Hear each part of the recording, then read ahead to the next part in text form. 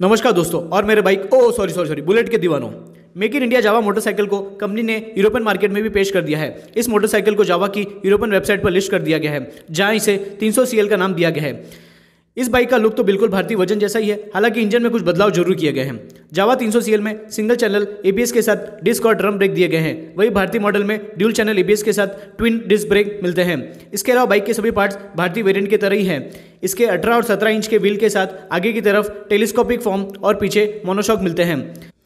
बता दें कि, बता ही सकता हूँ भाइयों, खरीदने की औकात तो मेरी है नहीं। भारत में Jawa classic single channel ABS की कीमत 1.73 लाख रुपए से शुरू होकर 1.74 लाख रुपीस तक जाती है। धन्यवाद मित्रों।